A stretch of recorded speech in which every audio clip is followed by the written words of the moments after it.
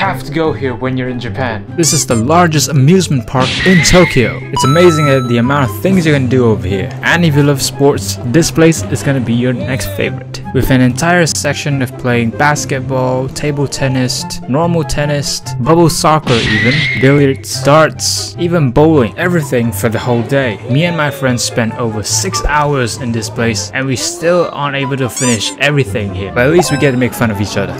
Not only it's open for 24-7, you can play everything that's available in this amusement park for the entire day without additional charges for only $20. And did I mention that's included free drinks for the entire day? So when next time you don't know where to go in Japan,